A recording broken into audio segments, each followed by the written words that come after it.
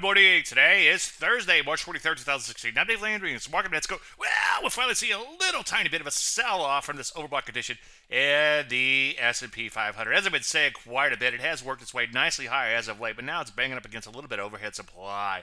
Also, for me to get excited about this market, it would have to go to new highs and stay there. Back chart way out as I have here. And you can see so far, so it looks like a big picture top remains in place. You know, you know, take things one day at a time. Stop me if you heard that before. Take a look at NASDAQ getting hit a little bit harder here, down a percent and change. Not the end of the world, but beginning to stall out a little bit at this overbought condition. Ditto for the Russell 2000. In fact, the Rusty was whacked fairly hard, a little more indicative of what's happening internally to this market, down 2% and change, as you can see. So far, again, just kind of pulling back from this recent slide.